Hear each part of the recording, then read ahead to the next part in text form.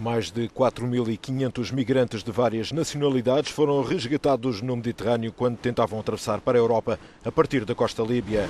A Guarda Costeira Italiana, enquadrada na Operação Triton, coordenou a operação que este sábado envolveu mais de 20 operações de resgate que ocorreram a uma distância de 30 a 40 milhas náuticas da costa líbia.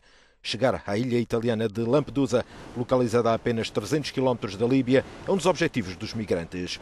O país do norte da África, com quase 1.800 km de costa e ausência de controle nas fronteiras devido ao caos que reina no país, tornou-se o ponto ideal para os traficantes tirarem proveito do desespero dos refugiados que procuram chegar à Europa.